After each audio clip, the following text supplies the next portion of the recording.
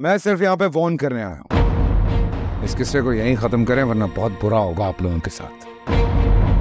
इससे ज़्यादा बुरा होगा तुम्हारे साथ। तुम तो अब डरने पे लगे हो।